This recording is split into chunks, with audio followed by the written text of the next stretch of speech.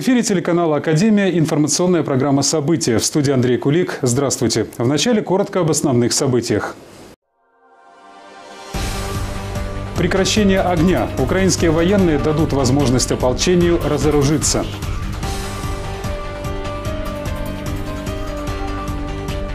Перспективы порта. Зарубежные эксперты оценили возможности морских ворот Одессы.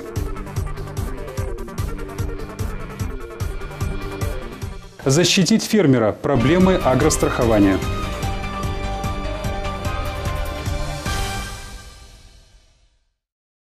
Украинские военные прекратят огонь на востоке страны. Депутаты предлагают Верховной Раде самораспуститься. На месте взрыва газопровода обнаружены следы взрывчатки. Подробно об этих и других событиях в свежем выпуске всеукраинских новостей.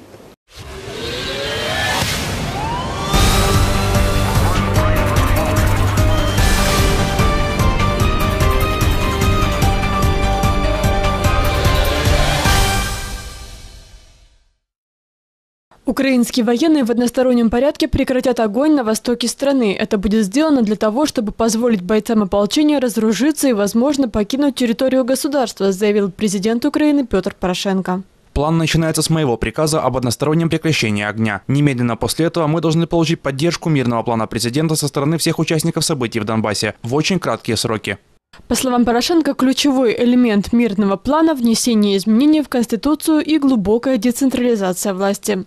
Мы ожидаем, что в очень короткие сроки поддержку этого мирного плана продемонстрируют многие участники этой ситуации. Мы ожидаем, что будут освобождены заложники, немедленно будут освобождены захваченные здания. Мы ожидаем, что гарантиями безопасности жителей Донбасса воспользуется большое количество людей этого региона.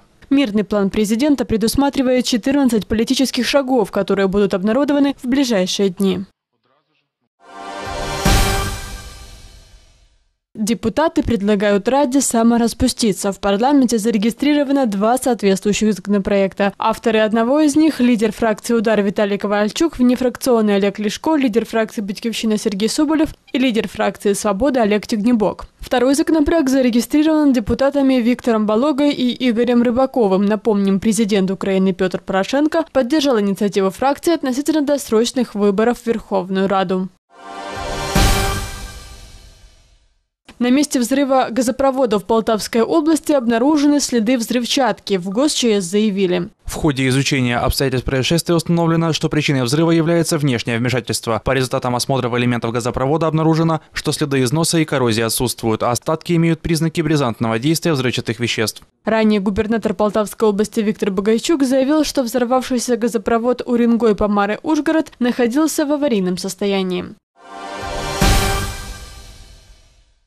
Президент предлагает Верховной Раде дать согласие о назначении первого вице-премьера Виталия Ярема на должность генерального прокурора Украины, а Валерии Гонтаревой – главу Национального банка Украины. Кроме того, президент внес в Верховную Раду предложение освободить от должности исполняющего обязанности министра иностранных дел страны Андрея Дещицу. Одновременно глава государства предложил назначить на пост министра иностранных дел Павла Климкина, нынешнего посла Украины в Германии.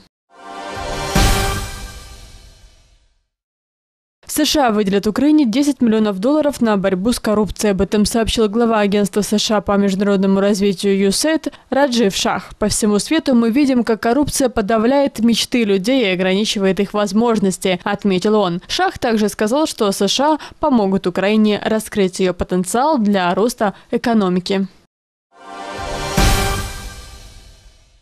Перспективы порта. Одессу посетил глава агентства США по международному развитию.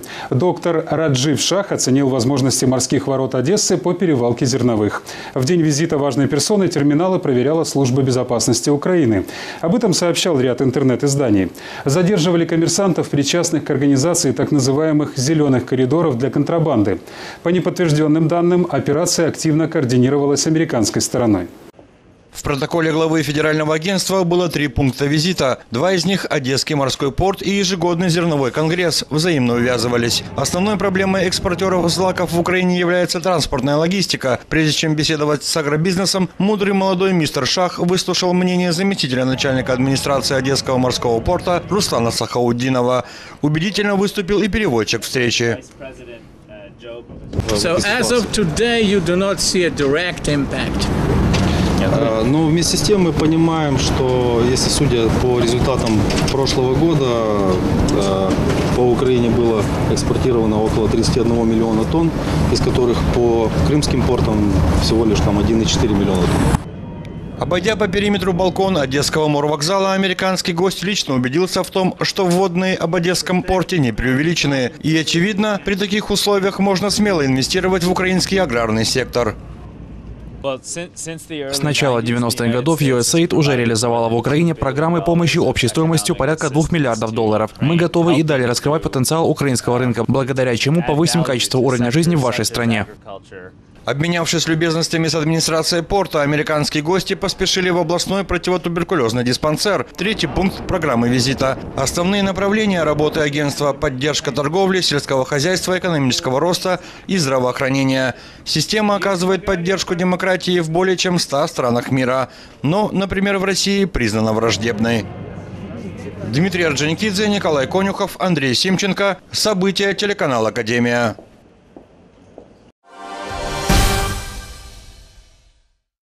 Кто возместит убытки сельхозпроизводителю в случае засухи или наводнения? На этот вопрос ответ уже давно нашли в европейских и североамериканских странах. Там агрострахование в последние годы продвинулось достаточно далеко. А вот в Украине фермер чаще всего остается один на один со своими проблемами. Но надежда на помощь государства все же есть. В Одессе ответ на вопрос искали аграрии, профильные чиновники и представители страховых компаний. Подробнее расскажет Виталий Хемий.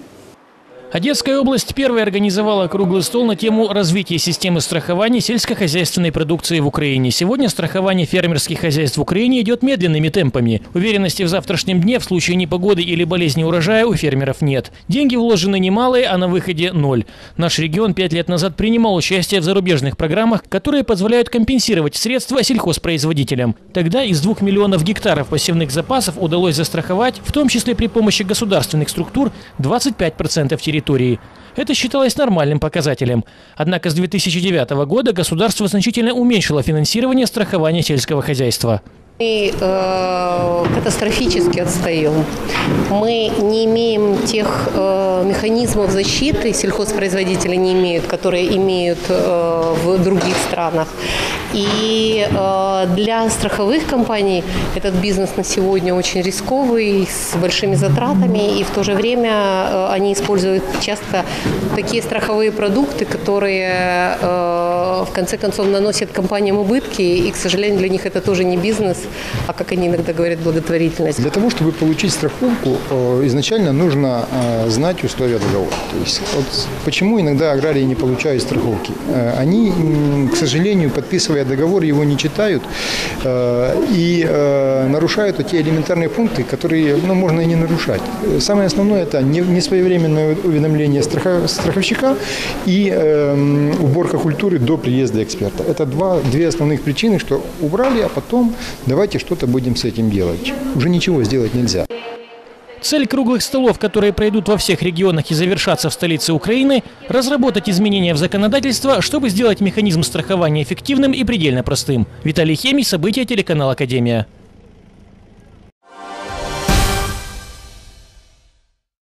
Компенсация за повышение. Увеличение тарифов на коммунальные услуги компенсирует малообеспеченным семьям. Об этом на пресс-конференции сообщила директор Департамента труда и социальной политики Елена Китайская. Таким образом, покроет разницу между прошлыми тарифами и повышенными. Для получения выплат необходимо обратиться с заявлением в Департамент соцполитики. Семья будет платить ровно столько за жилищно-коммунальные услуги, сколько она оплачивала до повышения. Потому что сегодня тот обязательный платеж, который платит семья, либо 10% от своего дохода, либо 15% от своего дохода, он останется неизменным, так как доходы не вырастут. Вырастут только расходы, а следовательно вырастет только размер субсидий. Огонь и деньги. В Одессе за ночь подожгли два отделения Приватбанка. В обоих случаях злоумышленники разбили стекло и бросили внутрь зажигательную смесь. В пожарах никто не пострадал. В нашем городе за последние три месяца это уже шестое аналогичное нападение на банк Днепропетровского олигарха и губернатора Игоря Коломойского. Но в этот раз работала новая группа поджигателей. Первый пожар вспыхнул в половине четвертого утра. Зажигательную смесь бросили в отделение с символичным для привата адресом Днепропетровская дорога. Первый этаж здания покрылся копотью. Внутри сгорела мебель и лопнули стекла. Я просто вчера все проплатила, пришла в шоке вообще. Вандалы, просто вандалы. И земля держит таких на свете. Второе отделение привата загорелось уже через час в центре Одессы на улице Пастера. Пламя уничтожило один из кабинетов и повредило фасад здания. Хорошо, закоптилось сильно. Но если опомнилось, даже это, как она, пленка эта бронированная, которая, даже она. Поджоги объединяет общий почерк. Сначала пироманы разбили окно, затем бросили внутрь горючую смесь. Это не похоже на более ранний поджог на улице Краснова. Тогда в банк стреляли из самодельного гранатомета. Вроде как с какой-то трубы выстрелила, потому что человек, вроде как говорят на камеру сняли, как человек из-за угла дома вышел, поставил трубу. Из трубы выстрелила, вот и произошел пожар. Схему разбить окно, бросить коктейль последний раз использовали против бизнеса Коломойского еще в апреле. Тогда пострадало два отделения и банкомат. Однако апрельские пироманы сейчас находятся за решеткой и не могли снова выйти на дело. Была задержана э, группа лиц э, сотрудниками службы безопасности Украины, которые работали именно тоже по этой теме, по э, поджогам. Я как бы не связывал бы те действия и вот эти, потому что уже большой перерыв, я же говорю, прошел по, по времени. И по тем событиям люди уже задержаны. Судя по всему, в Одессе появилась новая группировка, которой активно не нравится бизнес Игоря Коломойского. Кстати, у горожан есть возможность заработать на пироманах. За информацию о каждом в приватбанке обещают по 50 тысяч гривен. Вы смотрите информационную программу «События». Далее в выпуске. Срочные меры. Специалисты бьют тревогу. Куяльник надо спасать немедленно. Взяли с поличным. Одесские правоохранители задержали домушников.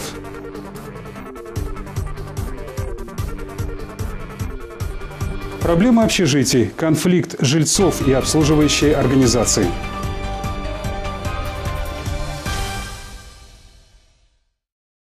Спасать Куяльник нужно немедленно. Проект строительства станции биологической очистки «Северная» требует безотлагательного воплощения в жизнь. А дамбу Хаджибейского лимана может прорвать в любой момент.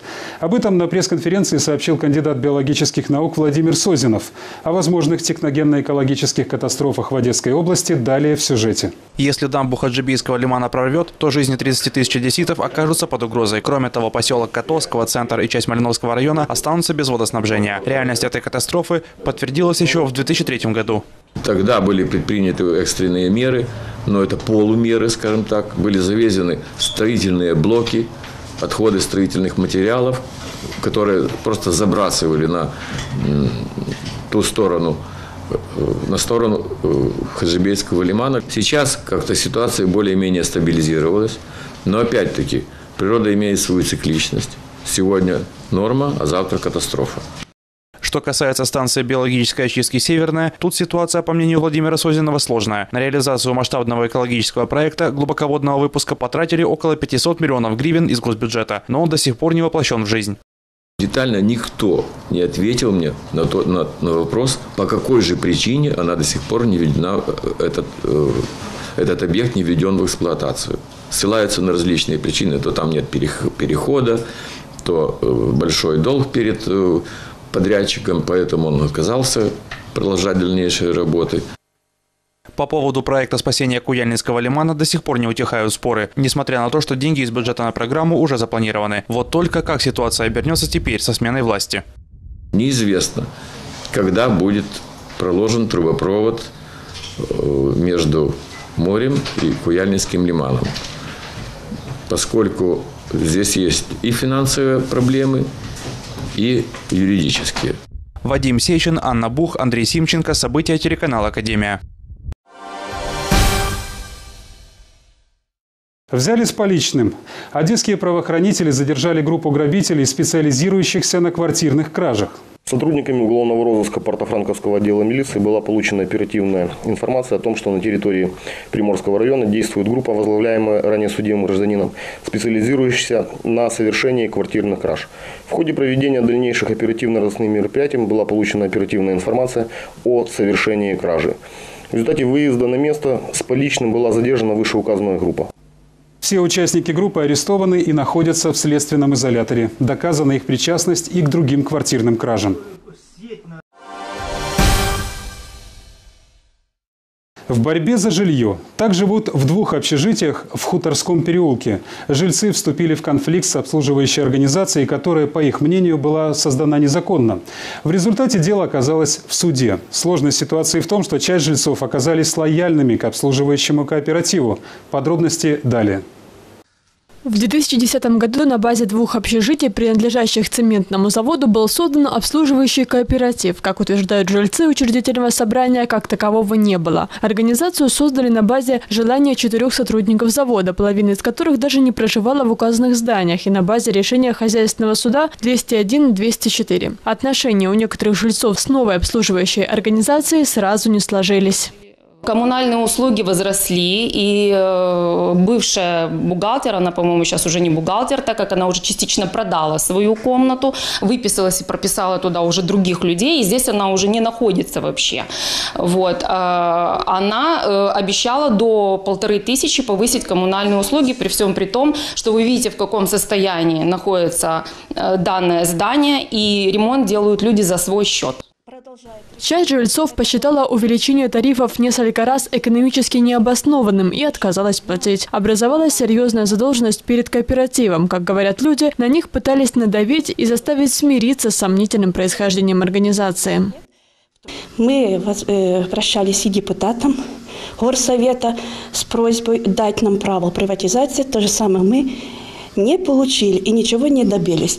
Были со стороны направления в мою сторону, как семье, и угрозы моральные, и выселения, как семью, как говорится, как непорядочную, не вступивший в кооператив, который они создали.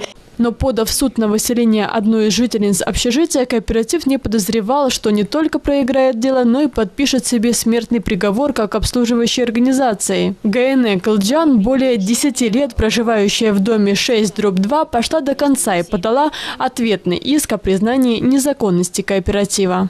Де юре вот в данную секунду, вот с 4 червня, он не является. Ну, никаких полномочий не имеет. Это как бы общественная организация, созданная тут людьми, кто там учредитель, там, вот, э, как бы и кооператив, и ТОВ цемент, цементный завод, он также не имеет отношения к этому дому.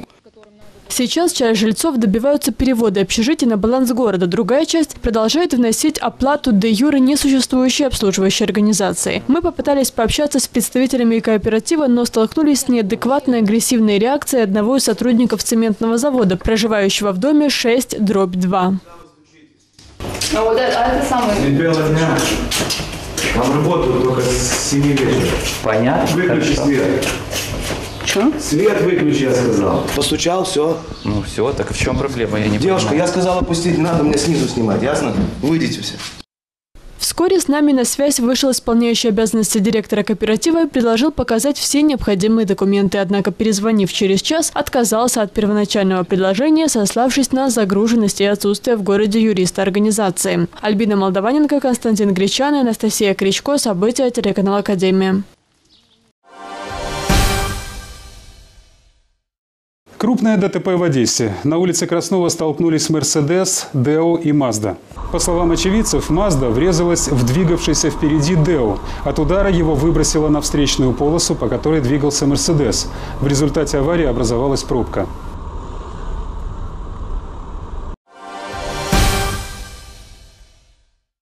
Таким увидели этот день наши корреспонденты. Не переключайтесь. Далее вас ждет прогноз погоды и обзор международных спортивных событий. С вами был Андрей Кулик. Берегите себя и до встречи в эфире телеканала «Академия».